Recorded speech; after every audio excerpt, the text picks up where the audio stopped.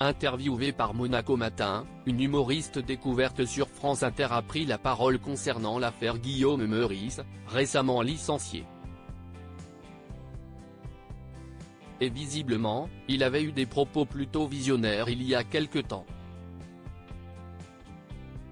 Nicole Ferroni recevra d'ici peu le prix Raymond DeVos lors du festival de Ramatuel, une distinction qui récompense chaque année un artiste dont l'œuvre ou l'action contribue au progrès de la langue française, à son rayonnement et à sa promotion.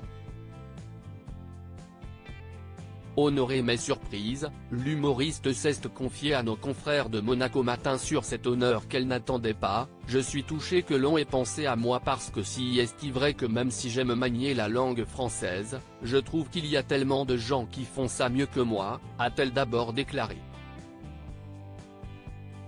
de poursuivre, évidemment, je suis très honoré, pleine de gratitude, parce que je trouve que Raymond DeVos dans le monde de l'humour, si est vraiment une figure noble. Et en parlant d'humour Nicole Ferroni, qui s'est fait connaître sur France Inter, a évoqué l'affaire Guillaume Meurice récemment licencié après sa blague sur Benjamin Netanyahu. Quand je n'aille pas été reconduite à France Inter, assez vite Guillaume m'avait dit les prochains, ce sera nous et voilà. On sent qu'à Inter, une forme de contrainte est en train de s'imposer sur l'humour engagé, a-t-elle regretté celle qui officie désormais sur TVA dans l'émission Piquante, que l'on retrouvera à la rentrée, a ajouté que la parole impertinente est devenue très restreinte tout en étant préservée un peu car il faut cette espèce de caution pour dire que l'esprit inter est toujours là. Elle poursuit, j'ai quand même un sentiment de gâchis.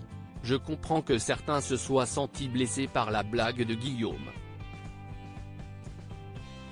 Après, sincèrement, si est le sort de beaucoup d'humoristes, on regrette nos blagues, on n'est pas fier de tout. Mais ça ne méritait pas un licenciement parce que ça jette du discrédit sur la place de l'humour sur cette antenne-là, a fini d'analyser l'ex-enseignante.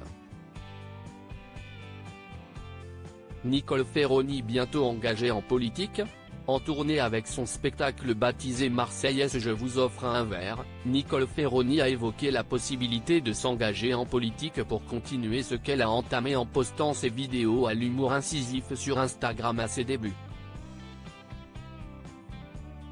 Si est une discussion que j'ai eue suite à la dissolution de l'Assemblée nationale?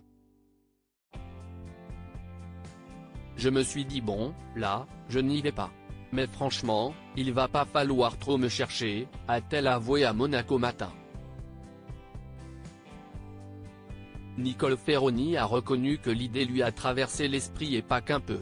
Je suis souvent dans un rapport de colère, vindicatif et je me heurte au mur des institutions. Souvent, j'ai l'impression qu'il faudrait du bon sens pour que les choses se règlent et des fois, je trouve que les choix politiques ne sont pas toujours dans le sens que je voudrais. Comme beaucoup de gens, cela dit, a-t-elle détaillé. Puis de conclure, et en fait, si est-il vrai que l'idée d'un coup de faire partie de l'appareil politique, de n'être plus dans la parole mais dans la décision, me fait envie.